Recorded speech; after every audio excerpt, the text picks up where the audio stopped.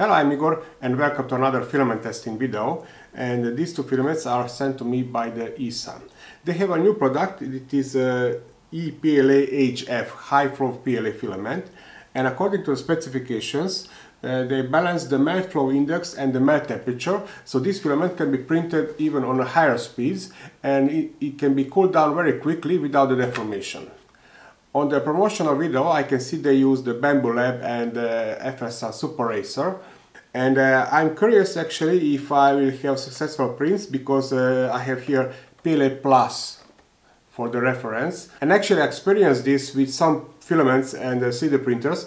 If the part cooling is not good enough those vertical test objects uh, for the layer adhesion test uh, have big overhang and sometimes that uh, small area don't have time to cool down properly and it curls up and I have problems with those printings and usually I have to slow down the printing that part. I'm curious if I will have successful prints with PLA Plus 2 or I have to slow down the printing. HF also arrived in a box but it was full of stickers from the shipping company. I can see more and more companies are slowly moving to the cardboard spools and here we have some basic informations about print temperature. What I'm missing here is the weight of the empty spool and they could place some kind of scale on this hole.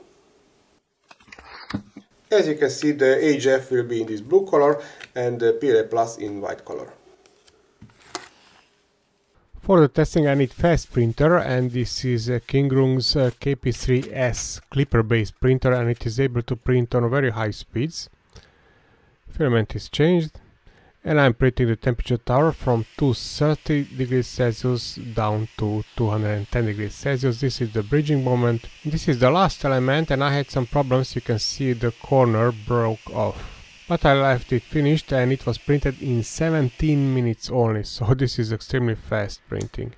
Now let's take a closer look of this temperature tower, which um, I could say it is okay. The biggest problem is this part here broke off on the lowest temperature element, but the overhang and the bridging looks great.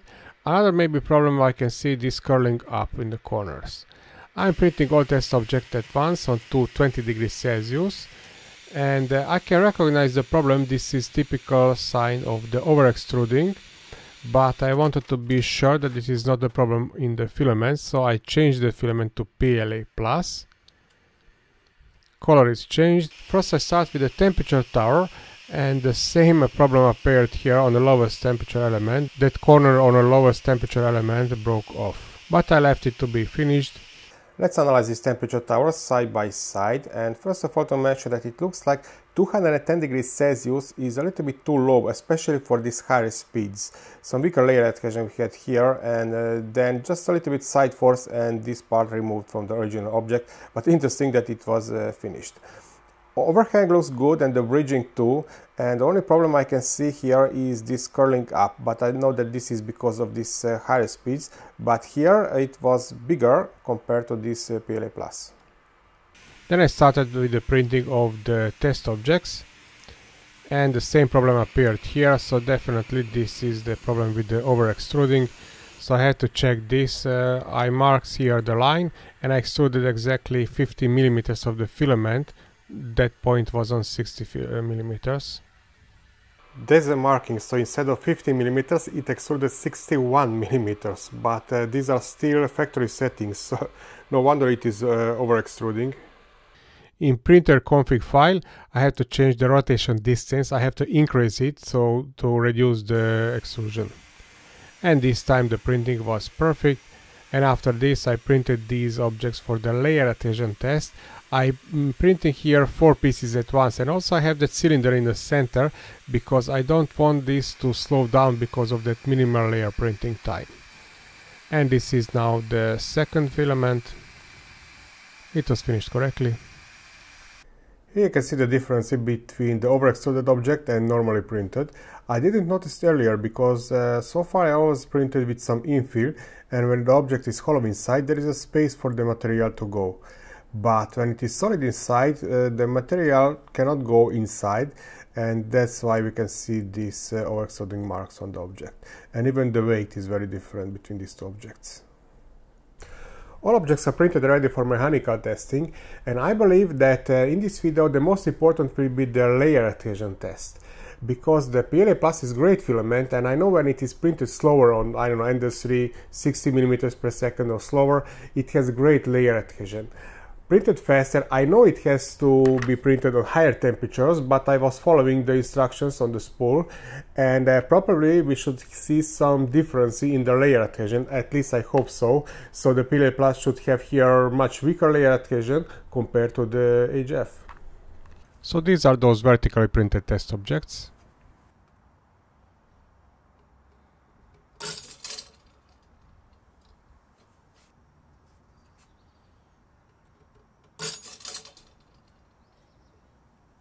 Each of them broke correctly on the smallest cross-section area and the brake load was similar in both cases, but I believe it was too weak uh, and uh, this means that uh, on these higher speeds definitely it requires a higher printing temperature. One important thing I forgot that actually the Kingroon is equipped with the stainless steel nozzle by default and I know that uh, with the stainless steel I have to raise the temperature at least 10 degrees Celsius when I'm using it on the slower printer on these higher speeds, probably this difference is even bigger. Actually, the Kingroon offered me to test their CHT-like uh, nozzles, and probably the reason. Anyway, I will not reprint these test objects uh, again. Uh, only these for the layer adhesion test are reprinted. They are printed on Ender 3 S1, which is quite slow printer. Anyway, I'm just curious about the layer adhesion when it is printed significantly slower.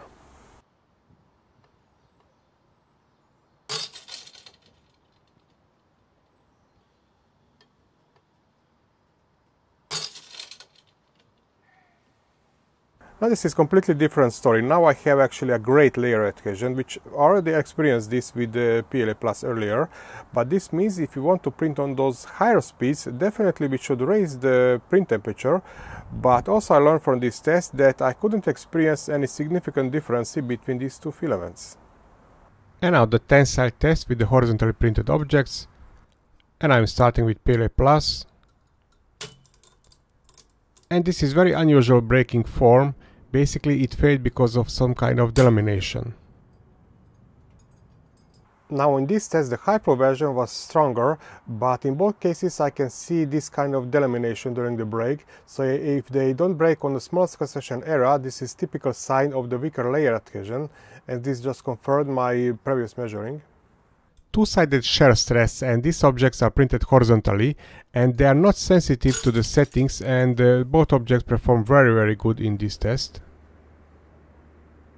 The torque or twist test uh, where I want to measure the load at 90 degree angle and the maximum load and for this I'm using this uh, torque meter.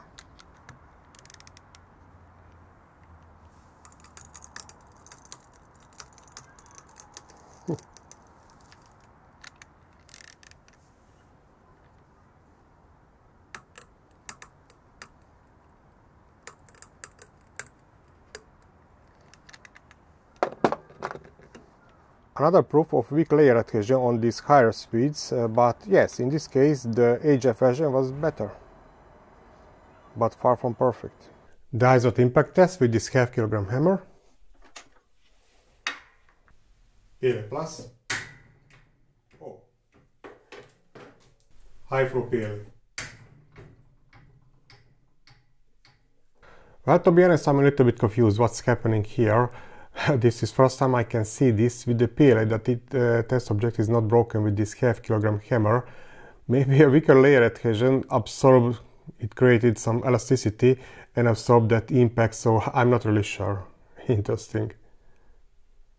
Just to satisfy my curiosity, I reprinted these test objects on Ender 3 S1 and also I will include here one regular PLA filament which is quite brittle and I'm curious will they also survive this half kilogram hammer or not. PLA Plus and the 3S1. Zero position.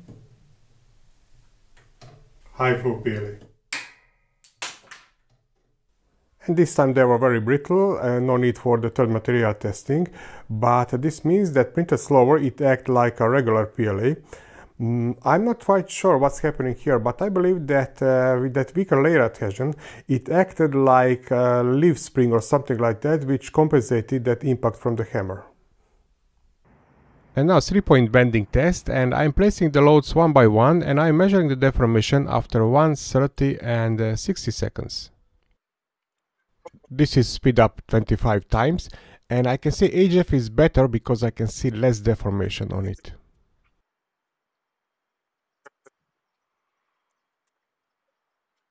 And basically no visual deformation on both objects. It's time for the temperature test in the oven. I have this M10 nut as a small load and as always I have uh, several experiments in the progress, uh, but this third one is also a PLA. And I will measure the temperature with this cooking thermometer and this is speed up without 25 times and approximately on 54-55 degrees Celsius they start with the deform but interesting the PLA plus uh, stop with the deforming and actually I can see it has a better shape less deformation compared to the high flow PLA. For the filling they are equally soft, all three actually. And here you can see the permanent deformation after this test is bigger on the high flow version. It's time to summarize the results in this Excel table, which you can download from my website, but uh, it will not go to that summary table for my Patreon supporters because um, I think uh, these settings are not correct, especially because that uh, printer was equipped with the hardened steel nozzle, which I noticed only later. Anyway, so these are my print settings, and uh, as I mentioned, so this was printed on Klipper Base KP3S which is very fast but hard another was inside and I believe that in that case the print temperature should be higher. Only for the layer adhesion test uh, I have some test objects printed on Ender 3 S1. Now let's see that layer adhesion. Oh, let's analyze the graph. And uh, here you can see when it was printed very fast, uh, I had a break load of approximately 20 kilogram, which is um, okay but definitely when I print uh, slow uh, this was a huge difference and a very good layer adhesion I have with uh, both filaments. In both cases the HF version was just a little bit better but this is not significant difference. And the tensile test uh, was well quite weak but because of the delamination because uh, those test objects were printed too fast the shear stress, it is independent from the print settings or the layer adhesion and both filaments perform great in this test. The bending test, um, this is the deformation after 30 seconds under these loads, but uh, this is more important table where I have these deformations uh, after 1, 30 and 60 seconds and here we can see the lower values are better so the HF is better from this aspect compared to the PLA Plus because it has less deformation. And until 5 kilogram this line is almost horizontal so there is no additional deformation no creeping.